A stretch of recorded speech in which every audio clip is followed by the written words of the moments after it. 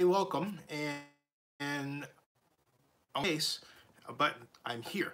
And you might say, hey, if you are one who has paid attention to the story, hey, didn't you talk about this before? And the answer is, well, yes and no, because it came on the heels of the Tiger Woods news, and so I tried to fuse two conversations together into one and move forward. And uh, uh, I thought this was so important, I think, too, particularly with what I've learned since then, that this is so important that I shouldn't leave it to um, uh, one video or even two. It should be a multiple video series. Uh, so here it is. One moment, please. I'm just going to do a little back. Um, just a little resetting of terms here. Uh, yeah, clear. Awesome. Ta-da! So I did that, and we're clear. We're in the clear, and we're clear. Now, skip-a-babo, as uh, Pio Pius says, whatever that is. How you doing, Kenny G? Now, for those of you, like, for example, Kenny G wasn't here in the guise of Kenny G. I think you were actually somebody else. But the whole point is, uh, he, the last time I talked about this, the, the it didn't have its own presentation in terms of a story. And I want to basically put this entry in as a kind of addendum, but in order to appropriately talk about where we are with this story, and yet respect those who are hearing about this for the first time, I have to recount it. And it goes like this. This started really March 21st of this year during the Las Vegas Stadium Authority meeting. And I was really focusing on that meeting at the time. Uh, and um, uh, and what, I found was uh, um, that the um, uh, that for one thing, the live stream has started early. There was basically no tweets about it. You know, no one putting out any really meaningful tweets about anything. I couldn't find any news, and I thought that was really suspicious. So, uh, I kept waiting and digging, and then finally the Review Journal wrote something, and they and there, there were additional files that are posted later. Um, um, about uh, about the matter, and one of the files stuck out at me, and that was item six, and it was entitled a letter that was called Stadco letter re Merrill Iron and Steel Inc. Notice to Lien, okay? Uh, notice to Lien. And it went like this. There was actually two letters. It was that one and another one that was entitled like this. And, and that one went um, Stadco letter re tab claims. And I'm going to focus on that one as well, okay? So called tab claims. Now, this is the first time I've talked about both of those exclusive of anything else. And that's the way this particular episode of my live stream is going to be because this gets to the meat of where the monies are going or not with respect to the stadium and the importance of understanding what's really going on rather than this bad news, good news game that seems to be played. There is no bad news or good news. There's just news. And the question is, where are we in the development of the Raiders Stadium? Why is it not the recipient of a Super Bowl game, the first in the, the long history of the awarding of Super Bowl games to teams and cities that built new stadiums? And why is there so much secrecy around this when $750 million of public money has been appropriated from the Nevada legislature by way of Clark County. All right? So all of those questions and many more need to be answered. And so it means you have to and you have to pay attention to what's going on with respect to even the most minutia or seemingly minutia of news. This seems that way to the person who's not used to covering this sort of story, okay? But if you're of a background in urban economics and urban planning, and you've done work with respect to public finance and large-scale projects like I have, then you have a different perspective on this, all right? So it comes out like this. This was March 5th. This letter presented to the Raiders on March 5th, but not presented for public view, didn't find its way to public attention until March 21st of this year, and it reads, this is just Mr. Steve Hill, Clark County Stadium Authority, care of Applied Analytics, 6385 South Rainbow Road, Rainbow Boulevard, excuse me, Suite 105, Las Vegas, Nevada. 89118. All this is public information. I'm not reading to you anything that's secret, okay? Dear Mr. Hill, this letter is to inform you that Merrill Iron and Steel, a subcontractor to Mortenson McCarthy Las Vegas Stadium, a joint venture, MMJV, recorded a mechanics lien against Las Vegas Stadium project property. The lien, Las Vegas Stadium Events Company LLC, STADCO, is providing this information pursuant to the development agreement. MMJV, pursuant to its design build agreement with Stadco, posted a lien release bond to replace the lien. Copies of the lien and the lien bond are attached to this letter. Please contact me at your earliest convenience should you wish to discuss the matter further. Sincerely, Don C. Webb, Chief Operating Officer. So the lien basically is a call for payment. And in this instance, the total call for payment is 278 million. Now, the person writing the letter, Don Webb, is the chief operating officer. He re really represents the Raiders in building the stadium. He wrote in this letter, he states, and I quote, that MMJV, pursuant to its design build agreement with Stadco, posted a lien release bond to replace the lien. But the lien release bond is not big enough to replace the lien. The lien total, the lien release bond is, is smaller. So what you get is this situation where you have a notice of the lien and the amount of the original contract was 179 million. Um, they had an amount of additional change orders at basically 100 million, which is 99 million, $109,000. Uh, the total amount of all payments they received being Merrill Steel was 93 million. Um, so you have the original contract amount and the total that I gave to you in that adjusted contract sum is $278 million, all right? So they were only paid $93 million, okay?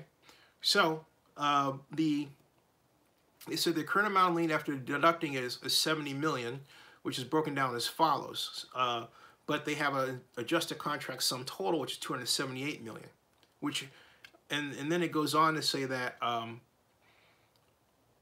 as the project is ongoing, Merrill reserves the right to supplement and amend this lien statement as additional labor and materials are provided to the project.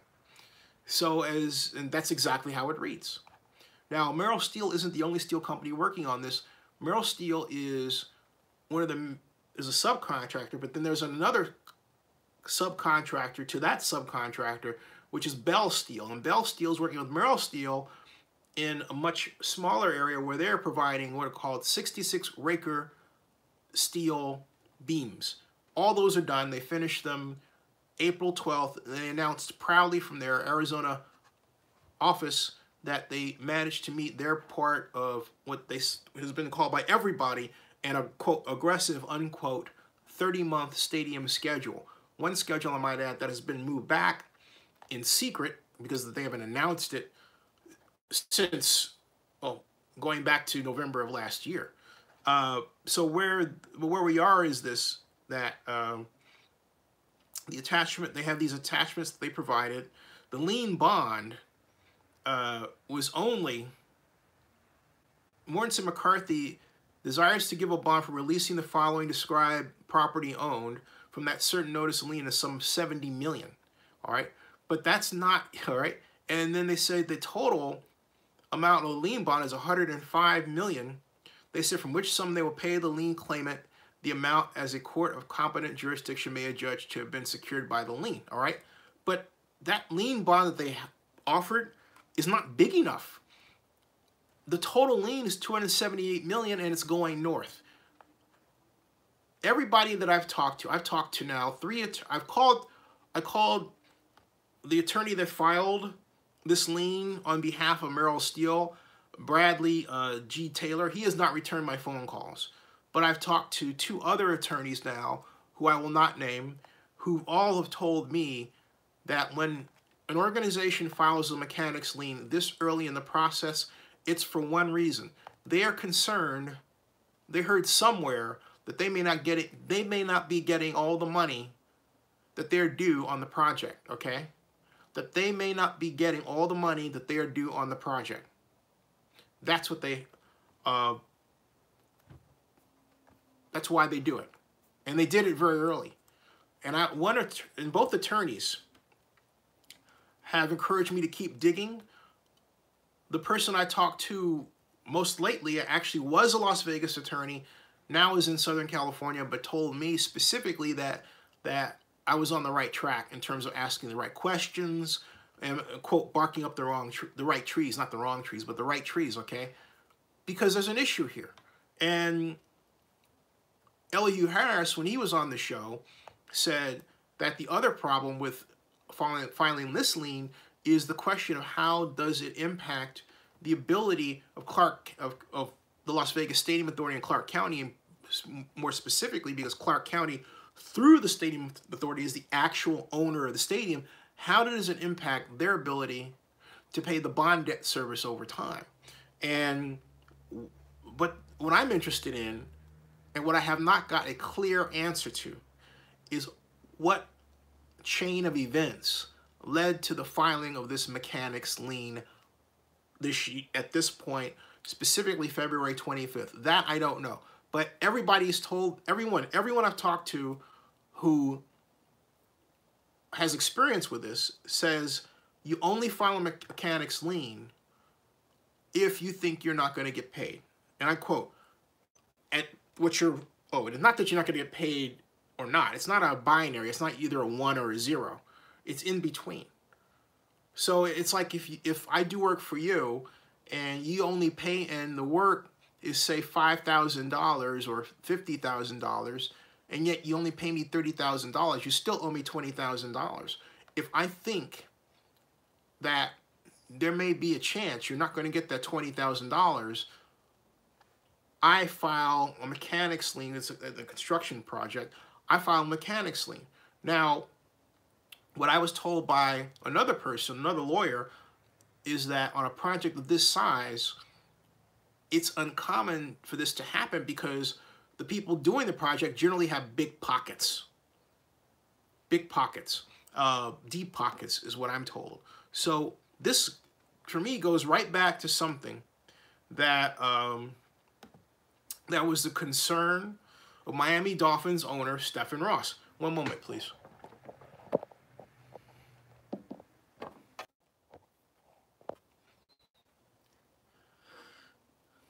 I ran into Mr. Ross at a steak restaurant right after the NFL's 31 to 1 vote allowing the Raiders to begin the relocation process to Las Vegas the person who filed the one, who was the one, Stephen Ross, who owns the Dolphins, is the man that I talked to. And I asked him what his rationale for filing no was. And he said, they don't have any money. Talking about the Raiders. They don't have the deep pockets necessary. His contention to weather the financial storm that he believed they were about to get into and they are now in the middle of. They have not announced any more big sponsors and yet claim to be halfway through this project. Uh, so there's there is uh, a lot wrong here from a monetary perspective, and if I have if I had to like for example do a search for Mercedes Benz Mercedes Benz uh, Stadium Atlanta sp sponsorship, okay? Like that. What I would get back, because they're a founding partner, all right? What I would get back is that uh, Mercedes-Benz had reached the cusp of $1 billion sponsorship mark April 17th of 20, 2017. Uh, Mercedes-Benz Stadium uh, completion date was, excuse me, completion date was August 26th of 2017. So by the year before, November 29th of 2016, the Falcons had sold 900 million in stadium sponsorships by that time. Okay, 900 million. And if I type, because as a benchmark, so basically, if I type that, um, they uh, they they announced that by by that time. However, on May 3rd, Coca-Cola was named as a founding partner. May 3rd of 2016. So let's do a little comparison, all right? May 3rd of 2016, over a year before Atlanta Falcons Stadium opened, Coca-Cola was named a founding partner, all right? So they were the eighth sponsor of that facility, eight. By contrast, the Raiders have signed up only three. You've got Cox, Caesars, and PPG, okay? So in total, Atlanta has 11 founding sponsors, 11. So, and again, by May 3rd of this year, and that's that's uh, May 3rd of this year is now, okay? This is, well, the 5th. May 3rd was earlier this week, all right? The Raiders only had three. So Atlanta had five more sponsors by this time. And by November, they cleared a billion, all right? They cleared almost, excuse me, they cleared 900 million by November of 2016. So you, do you see how far the Raiders are behind? And now we're getting to the reason for the filing of that mechanics lien. The Raiders are behind schedule in signing up sponsors with respect to what other NFL teams have done in securing sponsorships within a comparable time frame. That's the problem. Now, you would ask what the why that is. But listen to this, okay? This comes from a, a, a publication called Sports Media Pro. And it's a Coca-Cola that signed a 10-year deal to become a founding partner of Mercedes-Benz Stadium. And it was it was designated as the exclusive non-alcoholic beverage partner uh, of the venue and the Falcons, as well as Atlanta United and Major League Soccer expansion franchise. Uh, due for completion in June of 2017, uh, Mercedes-Benz Stadiums will have 673 food and beverage sale points. Now, there's been no comparable food and beverage agreement announced announced at this point for Las Vegas Stadium. Um, and so Mercedes had put its new name to the Falcon Stadium later in the year. Now, this goes on about, well, you know, Coca-Cola being one of their own recognized brands, yada, yada, yada. Okay, fine.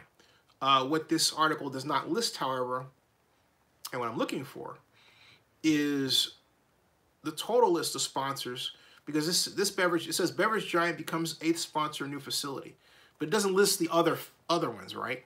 So this this in and of itself is sloppy. Let me see if I can find a better one.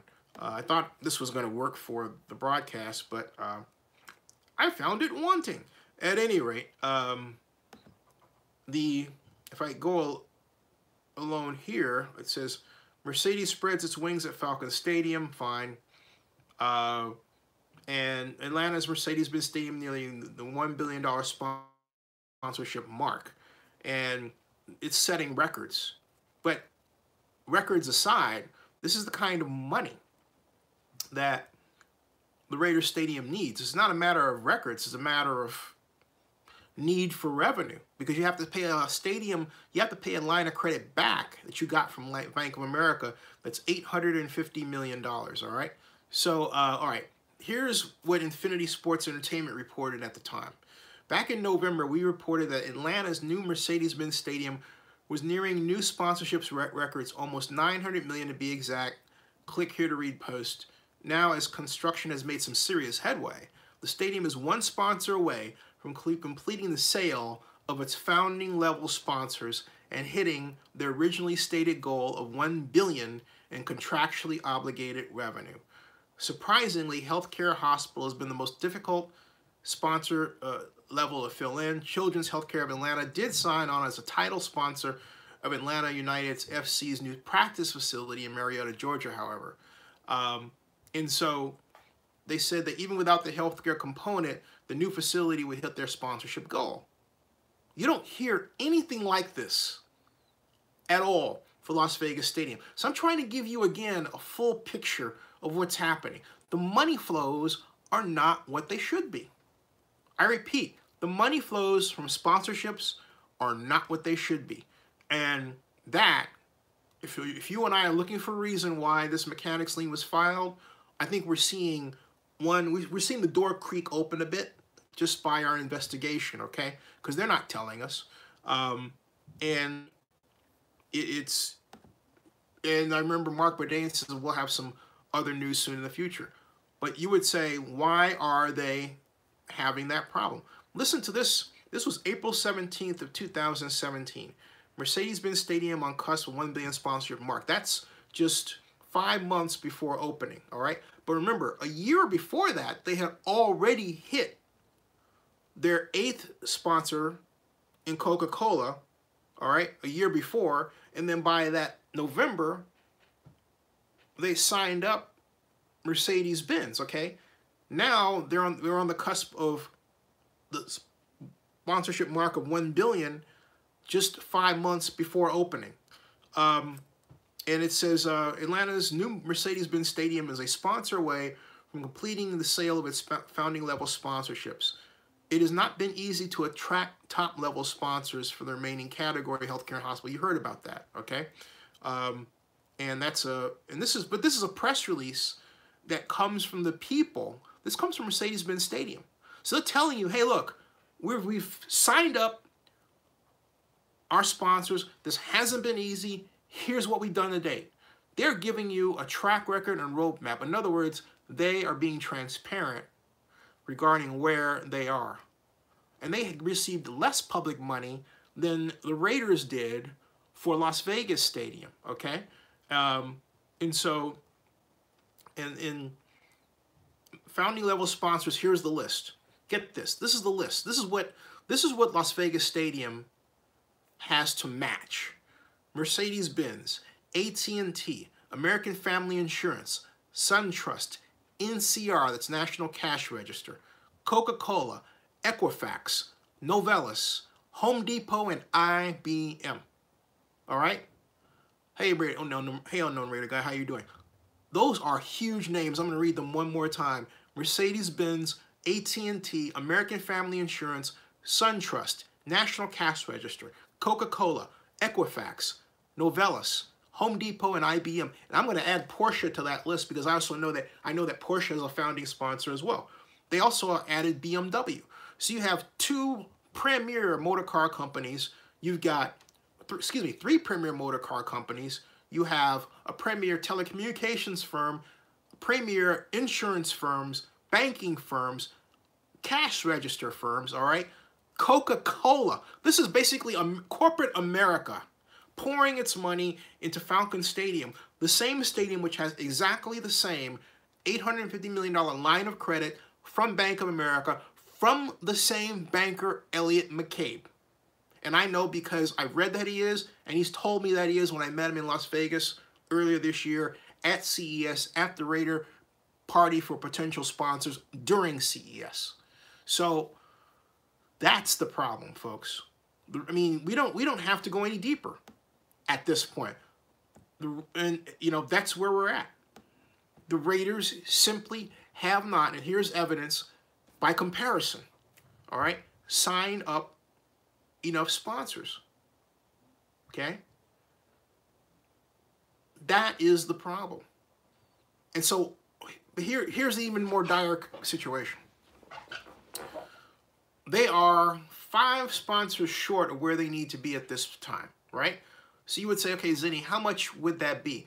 Uh, if I had to guesstimate that three sponsors were worth 100 million each, and given these reports, and I would have to say eight sponsors are worth 800 million. Let's let's let's let's be generous and say that eight sponsors are worth 800 million. I think that's a bit of a reach. Okay, so let's say that eight sponsors are worth eight times five is 40. Well, no, no. Let's let's say that let's say 500 million. All right. So let's say that if eight sponsors are worth 500 million, then then, and of course the amounts vary, then if you only have three, you're looking at 200, $200 million around there. So let's be generous and let's say the Raiders have 300 million in sponsorships.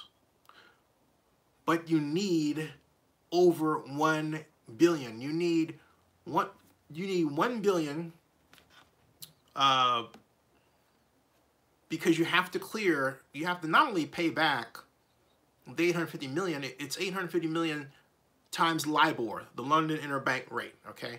And the last time I looked at that, that rate it came out to where the stadium, the line of credit was going to be somewhere around 1.04 billion in there to pay back. I'll have to recalculate that to make sure. But again, details aside from the numerical standpoint for a moment, it is quite obvious that they've got a problem. Uh, John Akala, how you doing? Um, and PL Plus says they do have the money. And wait a minute, Peel says Oakland's going to Vegas, the Mafia, plus they do have the money. But Peel, I'm glad you mentioned that because when you said Mafia, my thought is, okay, what do they want in return? Ownership? And if that's the case, and if that's the case, and the Raiders still have these stringent casino ownership rules, the complications there, even though they have been relaxed via way, by way, via the Supreme Court decision that corporations, casinos could sponsor stadiums, right? Even then, even then, there may very well be issues holding that up. But here's something, here's what I think the problem is, okay? I don't think it's really that at all. I think that the people, legends, legends, Jerry Jones organization that's responsible for selling the sponsorships for both the Raiders Stadium and Inglewood, I believe I firmly believe that they're asking too much money. And the reason I say that, okay, and the reason I say that is Vital Vegas put out a blog post that, uh, excuse me, a uh, Twitter tweet that he heard, Scott Roeben is his name, he heard that, he was informed rather, that they were asking, get this, 30 million dollars for naming rights alone. All right? 30 million. So 3 times 2 is 6. That means they were aiming for a $600 million naming rights deal. And apparently, a number of big players saw that number and they started, yeah, jumping ship. Not interested, not into it. 20 million, sure. But you say 20 million times, okay, you're looking at easily, 2 times 3, well, 20 million times, um, well, let's say uh, 30 million times 20 years is 60 million, okay? But 20 million, let's say, let's say 30 million times 60 years, wait a minute, 30 million times 30 years, that's 900 million, if it's that long. 30 million times 20 years is 600 million. But 20 million times 20 years, two times was four, that's 400 million. So that would place them 400 million less, at 400 million, 200 million less than they need. And that gives us a window into how they're structuring the sponsorship deal. They believe the majority of the ask, the value, is in the naming right itself. But quite apparently, they're overestimating the value of the naming right versus what they're able to get. Otherwise, they would have been able to move forward with something a lot faster. The other problem they have is this. Unlike Atlanta United, the soccer team that Arthur Blank owns, the Raiders don't have a team of their own, a soccer team, to spread the sponsorship around. Now, you would say there's UNLV, but I don't see anywhere any language that says the Raiders have to share their sponsorships with UNLV or any news report that UNLV has been named as a, a subsidiary sponsor beneficiary of a Raiders deal. It would be great for the Raiders to have such a deal. Okay? They should be able to tie it into UNLV's playing there, okay? But even then, here's the problem. If UNLV starts its is supposed to start its season next year, then that naming rights, that naming, that co-naming, that sponsorship deal would hamper both, would be delayed by the delay of the stadium for both organizations. It's a bit of a mess right there because it means that UNLV would still have to play at Sam Boyd Stadium and arguably Sam Boyd Stadium is worth a lot less than, and there's the problem, worth a lot less than Las Vegas Stadium. And I think we're seeing another problem. As long as the stadium's true opening date is held up and, and keeps getting pushed back, it hampers the ability to sell a naming rights sponsorship because you don't, you can't be sure when that sponsorship is going to kick in. All right? The minute you know when it's going to kick in, you can move forward. It also reflects, now you would say, wait a minute, that's ridiculous because Farmers Insurance laid down 700 million for LA and they had no idea when that was going to be built, which tells us what? The comparative value of LA versus Las Vegas in terms of naming rights. If Las Vegas were as valuable as Las Vegans want us to believe, some, that sponsorship would have been up a long, long time ago. Instead, it hasn't been. Okay? Joseph Armendariz, how are you? Joseph says, is it the failure of the Raiders to successfully strategize for sponsors, or do you think it's negative stigma of the media perpetuates regarding the Raiders? Neither. I think it's just that the, the simple problem is that this deal's this stadium's behind schedule. It's in a, a city that is not known as a powerful media market. Okay, let's face it, it's not. And uh, I think it's those two things. All right, and I think it's that those two things. They're overselling the value of what they've got. But why? Because it's money they need to successfully finance that stadium without going back to the public with its hand out like this. That's a problem. Okay? That's a problem. So, um, Ruben says, I just saw the stadium a few hours ago. And um, Maurice says, I thought Maurice uh, made a great point, Maurice Perkins. He writes, if the Raiders are SoCal's team, where are the SoCal sponsors? It's a great question. Where are the regional sponsors? Sean Watson uh, chimes in with this comment. This is probably a dumb question. There's no such thing as a dumb question, only the one you don't ask. could everything fall through and they have to stay in Oakland? You know, at first I thought that was impossible, uh, but I think it's an open question. I've said this before and I'll say it again. I cannot in my mind's eye see this stadium not being complete. All right? I cannot in my mind's eye see this stadium not being complete.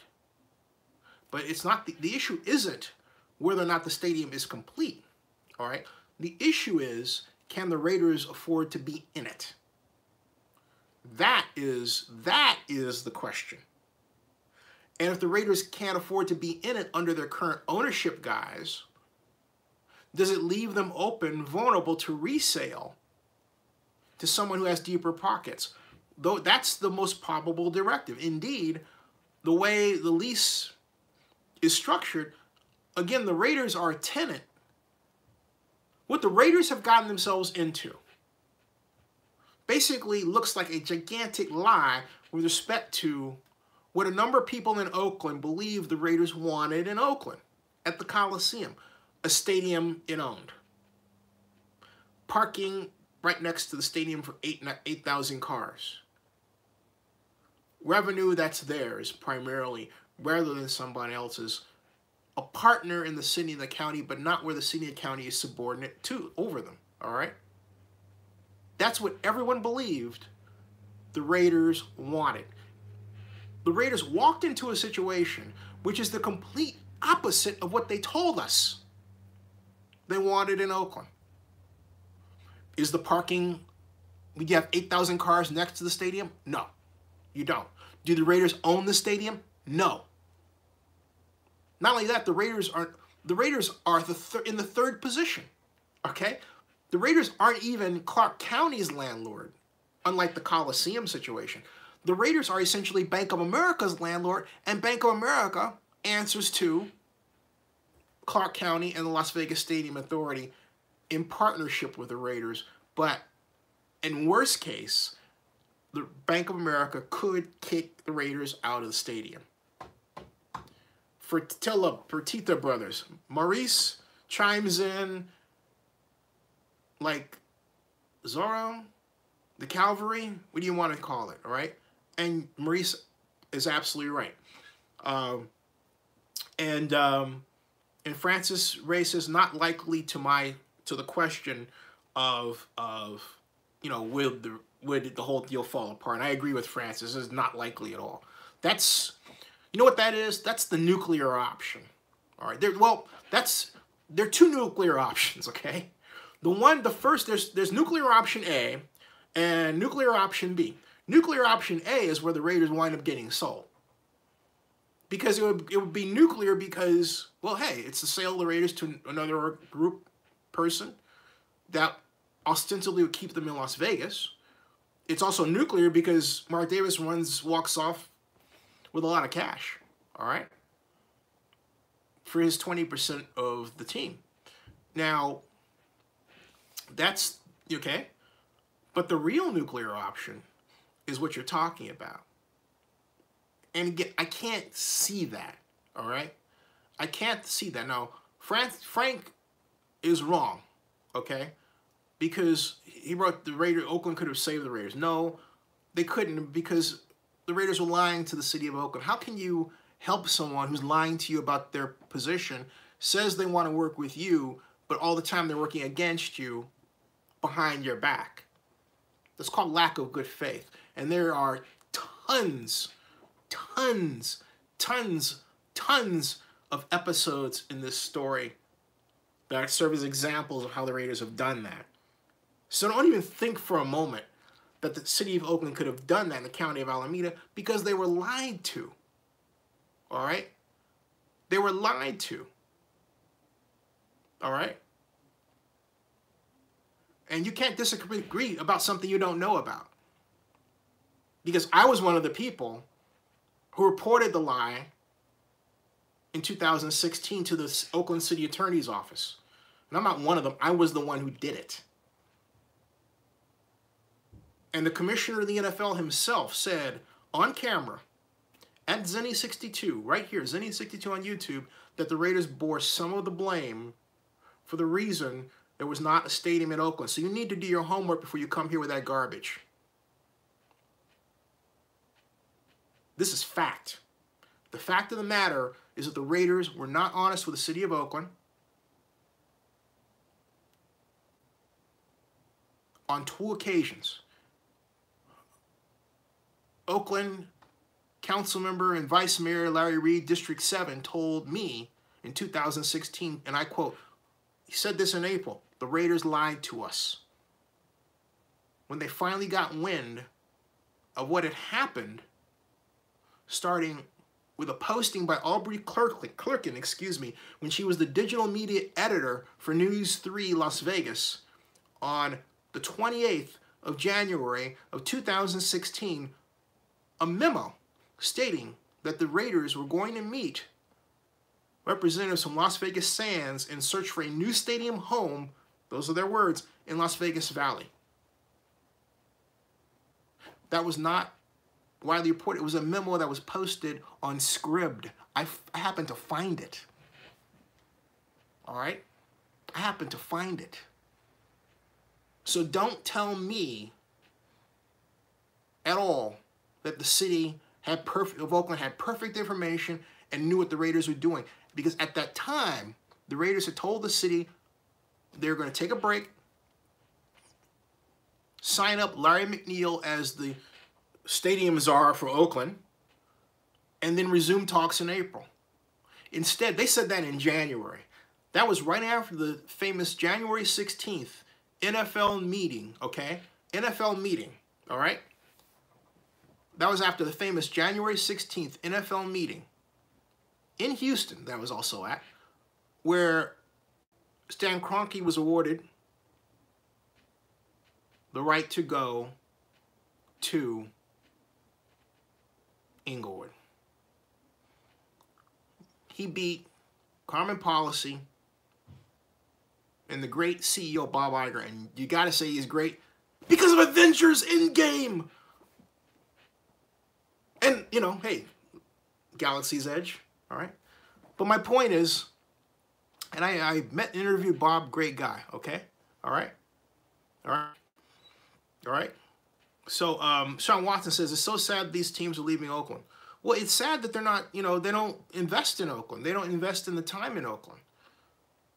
Joe Lacob could have said to the late San Francisco Mayor Ed Lee, you know what, I'm, I want to be committed to Oakland. All right? Maurice gets the award for another spot on comment. He says, emotion drove the deal to Vegas. It really did. It really did. Emotion drove the emotion continues to drive it. Everything from the aggressive schedule to the too high ask for sponsorships, everything drives it. And not only that, get this, folks, there are a number of people who believe we're headed toward a recession. So if you are a sponsor, are you going to easily cough up that kind of money if you think the economy is going to go down? And are you going to do it in an area of the country that has a media market size that's less by many times than the San Francisco Bay Area that the Raiders are trying to leave? Hell no, okay? All right? Steve Levine asked, would I be a fan of the Las Vegas Raiders? Of course. Why not? That's not that's not the point. You don't say you're a fan. Look, if you say you're a fan, all right, and then you let, and then you yet and then you you know allow your team to walk in a stupid decision, you're not being a fan. You're being you're not being a fan. A fan, a real friend tells the friend what they need to know, not what they want to know. There's a big difference. If you don't understand that difference in life, you're going to have a hard life. Or continue to have a hard life. Okay? Fake it until you make it. Doesn't work all the time. You can fake it and be, fail because you faked it. All right? It's called fraud, folks. All right? Frank Ray says, we've been down this road before. Well, actually, we haven't. you mean in Vegas? I don't know what you mean by that one. Maurice says Raiders are just another NFL team at this point. Interesting point. John Carl says A is the only team that's committed to Oakland. He's absolutely right. And not only that, do you realize the A's are about to be the beneficiary of a tax increment financing district that they're going to use in part to build housing and affordable housing? The city of Oakland, I have said for the last four years, three years, could do the same thing to build affordable housing and get rid of this homeless problem and have never done it. Hey, but they can build a finance, tax increment financing zone for the A's, but not for the home, not to solve the homeless problem. Think about that. Think about that. Let that roll around in your mind a couple of hundred times. Heck, let it roll around in your mind once. Once. Okay? Once. You think I'm not going to blog about that point? I'm on that too. It's ridiculous. Civic management malpractice at work. So no, I'm not, because yes, the Raiders did not tell the truth to the city of Oakland. It does not mean the city of Oakland is off the hook in terms of what it can and cannot do. All right? I said it once and I said it before and I've said it a thousand times. If I were the mayor and I got the slightest hint that the Raiders were headed out, I'd have had an injunction filed. I know I, I would have figured out, and maybe there still is some language that could be used to keep their butts right at the Coliseum immobile. You stay there, we build you a new stadium, and you will like it because it will be to your specifications, but it will benefit the city and the region, and you will be monetarily better for it. But this injunction goes right up to you, okay? All right? All right? Frank Gray says the Raiders left before and I watched games and they staying back. I got it. Okay, I got you. Got you, Frank. I think we're on the same page. Cool. All right. Gotcha. I get. Oh, down this road before you're talking about 82. Yeah, yeah, yeah. Gotcha. I didn't. I okay. I, I apologize. Um, I apologize. Um, yeah. And so Savage says yes, but over the time the passion will die. It's different when the team is far away. What'll happen is, uh, Al's cousin says, do you think the NFL leaves Oakland teamless like they did in LA for 20 years? I'm going to say something right now.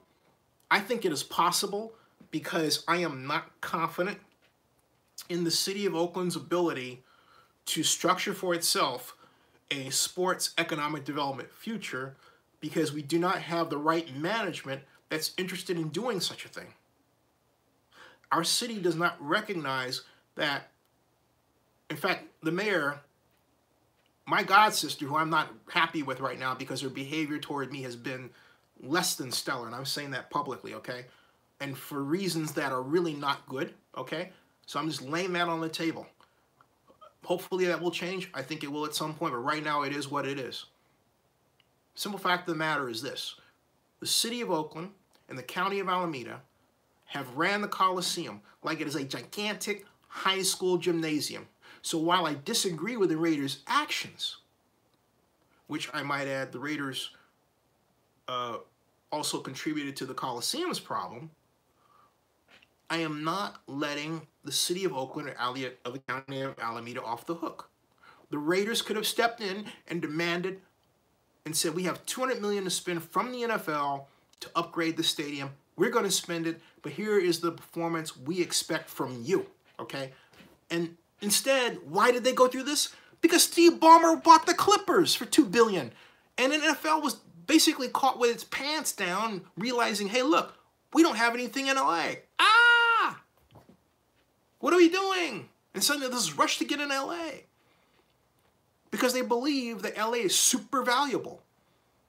More so than the Bay Area, which is a real head scratcher considering some of the most valuable companies in the world are in the San Francisco Bay Area. Like Apple, like Facebook. You see what I'm getting at? So you have all these great tech companies and you're going to run away to Vegas and Los Angeles? I'm sorry, man, that's crazy. All right? I mean, you mean to tell me you own the Raiders? You cannot pick up the phone and call Tim Cook of Apple and say, hey, you know what? We'd love to build the Apple Coliseum. We're the Raiders. We believe there could be a great partnership. Let's bring in the NFL, talk with Roger Goodell. Or you mean to tell me you couldn't bring in Bob Iger from Disney and create some sort of concept around Marvel, you know, and the Avengers at the stadiums and everything else? There's all kinds of things that can be done. It doesn't have to be in LA. It could be in the Bay Area. Make the Marvel with the tech and the NFL and the Raiders right there at that place. And I don't want to hear anybody tell me it can't be done. It can be done. Some of the people involved just didn't want to try. Jeez. Uh, Byman says Safeway Stadium in Oakland. I say tech. All right. And the reason I say it is because, hey, look, look at your large screen television. Look at the bottom of those. Look at Hulu. Where's Hulu's headquarters? YouTube, Facebook, Netflix. All right. Look at all those organizations. Look at, at where their starts were, even if they moved. They all, to some degree, generally most, point right back to the Bay Area. You mean to tell me that neither NFL team, neither the Raiders nor the Niners can't be involved in that? That is freaking crazy, man. I'm sorry, it just is. All right, so um, Rob Iman says, Oakland becoming a bedroom community of San Jose and San Francisco. I agree. Frank Gray says, uh, Emeryville turned that area around. True. Uh, Emeryville's come become quite a heck of a city. Pixar is there. When you watch Toy Story, think of Pixar, think of Emeryville. That's where Pixar is, okay? Frank Gray says, Oakland couldn't but won't, in my opinion, and could. Oakland could but won't, in my opinion, and Frank, I agree with you. I don't think I've completed that thought. I was so busy getting to the minutia. Let me come back and say that because of the current political climate, the people running the city, including the mayor, which they've ran it, the Coliseum, like it's a high school gymnasium, a glorified one.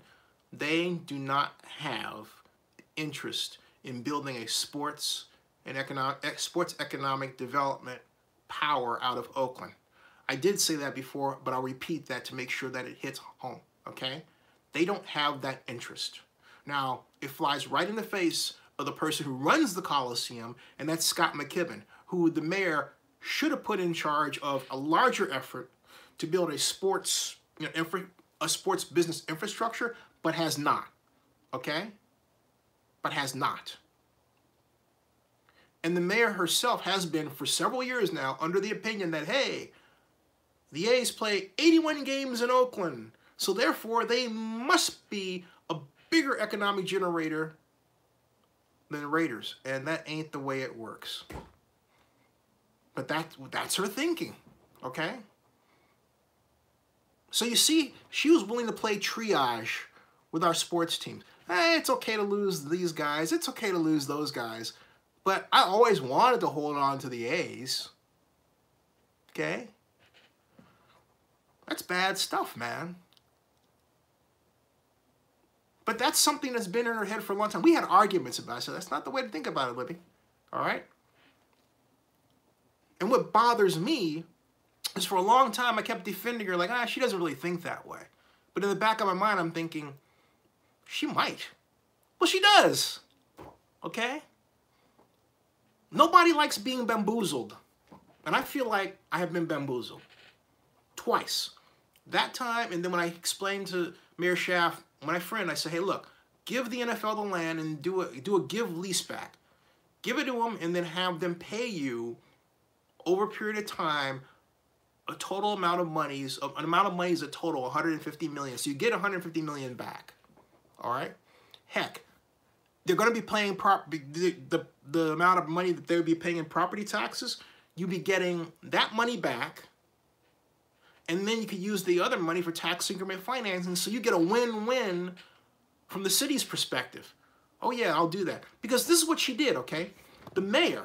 Get this. The mayor wrote a document. All right the mayor, thank you. The mayor would have, the mayor wrote a document in response to the NFL's um, call for a kind of response document that said that they were going to own the land. It's right there in the matrix. And yet use tax increment financing. You cannot fucking use tax increment financing as a government own the land that you want to use a tax increment financing for.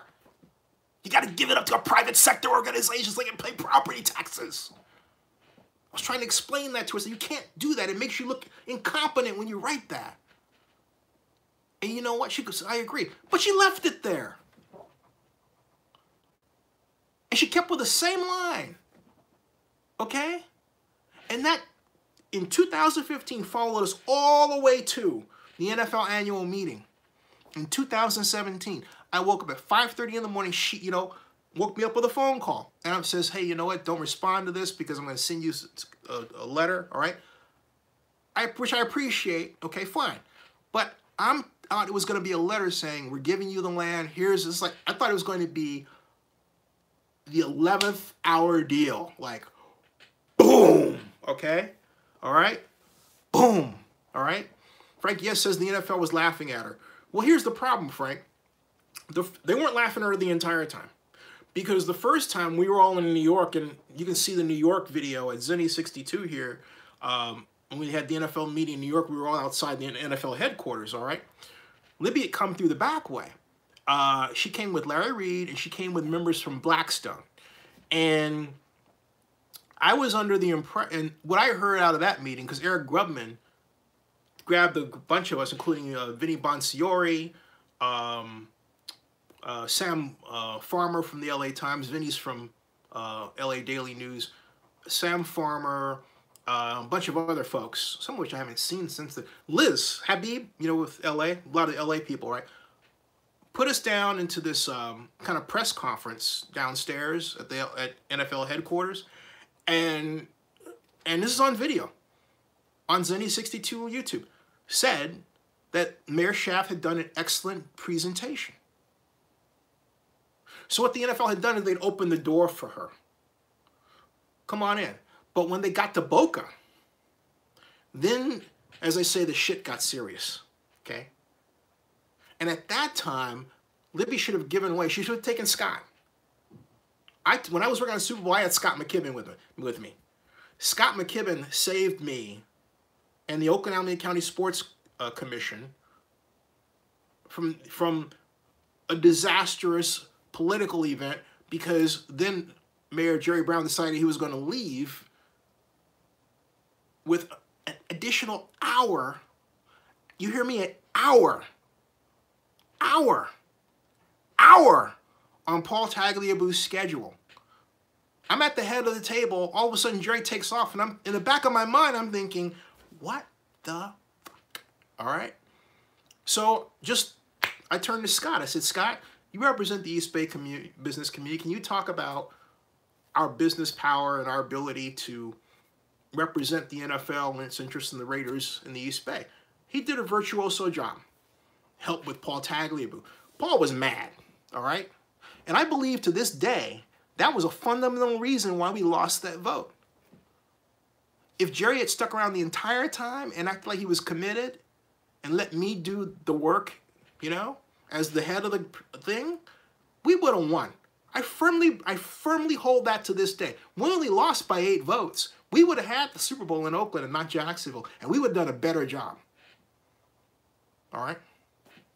So we have in Oakland, we have a litany of examples of where elected officials have failed us again and again and again, but the Raiders have also failed us again and again and again. It's been both. All right? We haven't had the proper champions in either side. You need a sports champion, and you need economic developer focused elected officials who really get it not making fun of it, willing to bring a commitment to it, and they're willing to get the business community rallied together like we, we've done, and we've done that too in Oakland.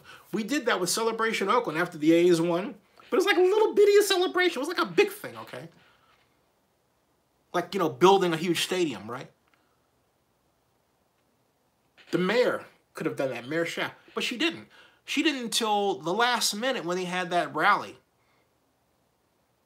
at the Coliseum that I was at.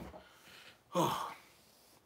Frank Ray says, is it the Raiders' responsibility champion for Oakland to be or to be profitable?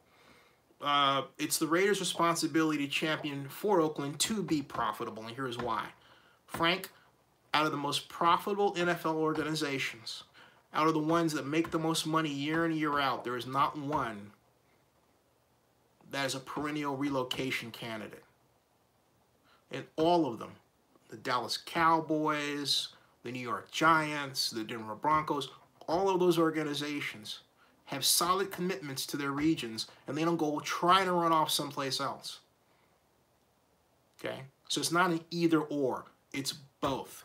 Your brand is tied to your civic identity. There's no way to escape that. And nobody in this world is going to tie by majority their brand to an I their their their allegiance to a brand that is over here when it used to be over there and then it over there, okay? All right? So my so all right?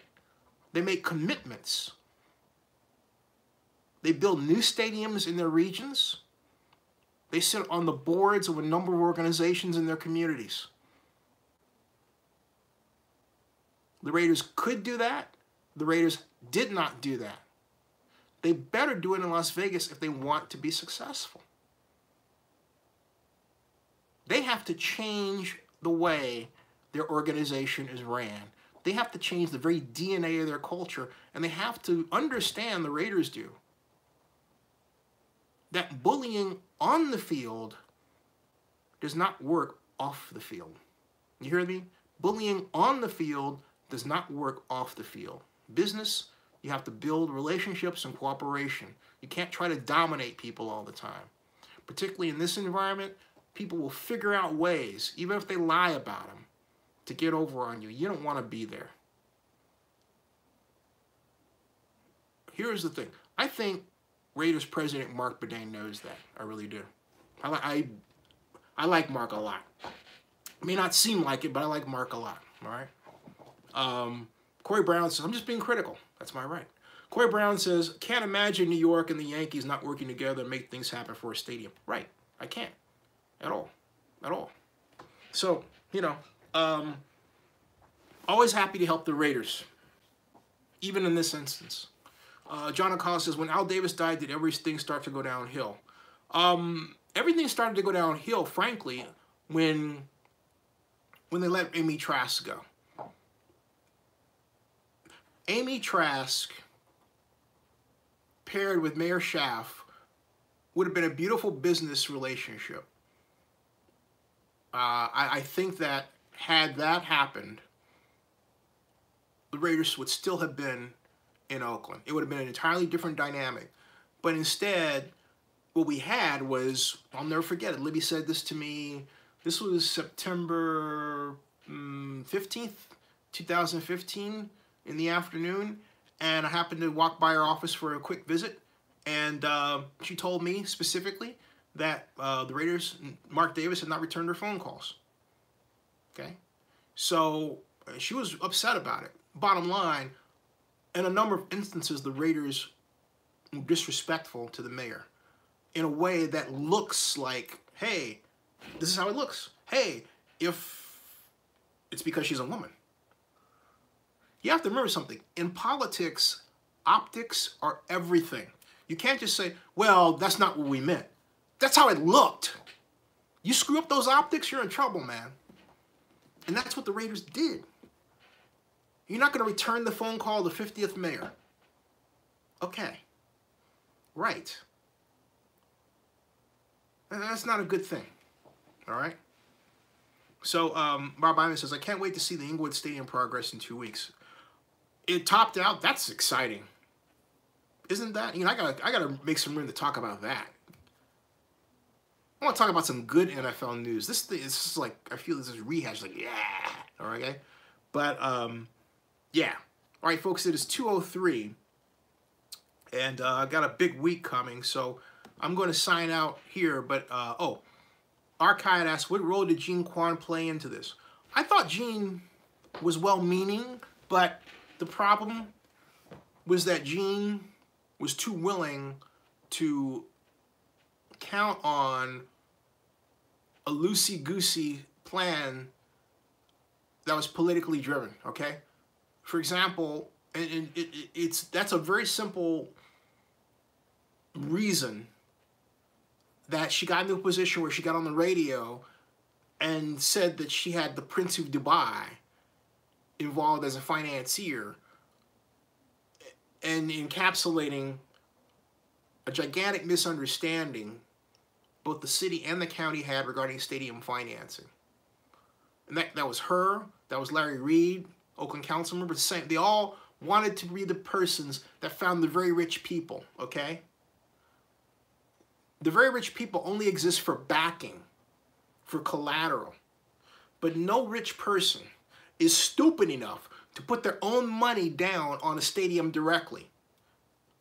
You finance it through the revenues the stadium produces and or the public. The public is a the, the public provides in terms of tax revenue a firm source. The trouble is that we're in a climate today where tax where hey look with the offshoring of manufacturing, you know where that you know what the offshoring of manufacturing caused? It caused the erosion of the desire to finance sports stadiums because the people who are most likely to support it were people who worked in heavy industry, who were making great money, where you could take one paycheck and finance a family with it, right? Okay? Okay?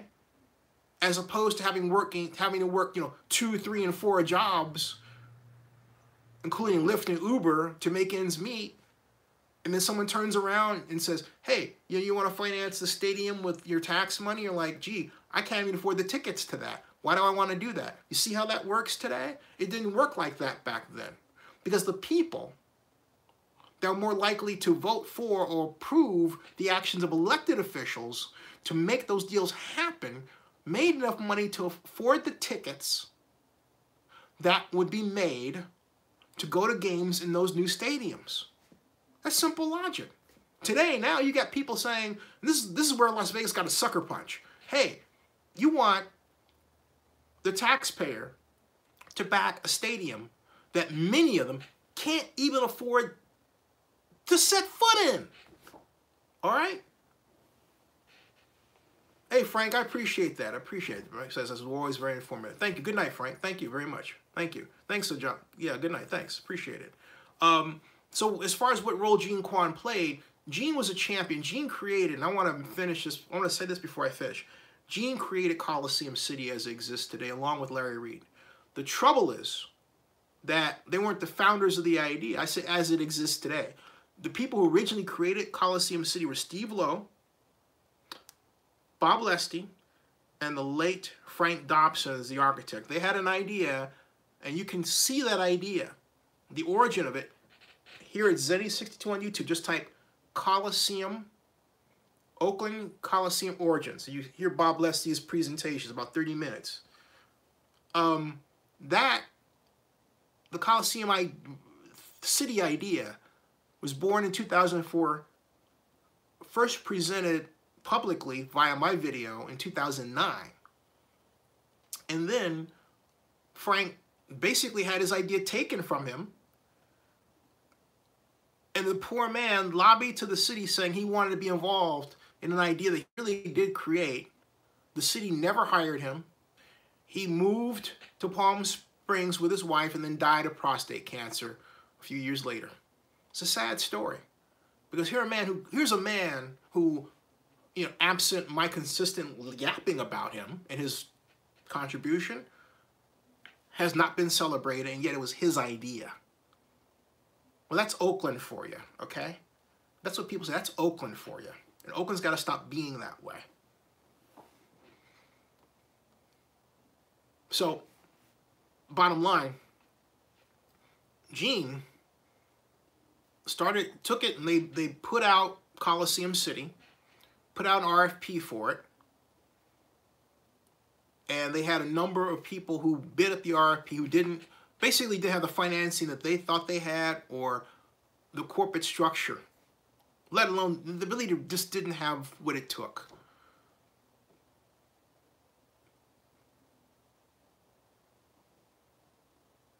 And so it went from, and it morphed. It went from being a stadium to a, a city within a city that didn't have a stadium. And then by the time Eric Grubman took a look at it, he said, it looks more like a land deal than a stadium deal. And he was right. It was a land deal and not a stadium deal. So then the city basically rushed to turn what was a land deal back into a stadium deal at the 11th hour. When they finally, when the city finally realized, hey, this stuff about the Raiders is serious. We better get cracking because they haven't really been working with us the way that we need to. We don't want to get caught behind the eight ball. Even though the Raiders had placed the city behind the eight ball, the city and the county, knowing damn well they weren't capable of, you know, catching up like that. That's why I said that the mayor needed to throw out an injunction the moment she got wind of what was happening. Didn't do it. Joseph Armendariz says, I think the problem with local politicians is there's no prerequisite to running for public office. Uh, paints a lot of mistakes are being made that affect the public sector. No, you're right. And what happens is you get a group of people who you get the, you get, like you had the business people way back in the 80s and the 70s who, you know, had race issues and only wanted their white friends involved. And then we had the civil rights movement that took hold during that time in Oakland and led to a, a reformation that created a, a more racially mixed council. But over that time, we've had a more activist council that has been less trained in understanding how civic finance works or the importance of having mixed development to create a city that's healthy for everybody. And so now what we have, I'm just being honest, what we have is a city of Oakland that has a, a homeless population that's four times bigger than it should be, at least okay, with no end in sight, that has lost its sports teams, which are a great tool to attract people and businesses to it. And every single day someone remarks to me that it begins to look more and more like a bedroom community of San Francisco, which is why I hated and I hate when people call Oakland the Brooklyn of the West. Brooklyn is a borough of New York. Oakland is its own city. And with that, folks, I'll see you later, okay? See you tomorrow night. By the way, special night. We're going to talk about different subject about the Raiders. I'm going to talk with a major sports betting expert. He's going to tell me why why the Raiders, why he thinks the Raiders are not favorites to win the AFC West. So come back. 8 o'clock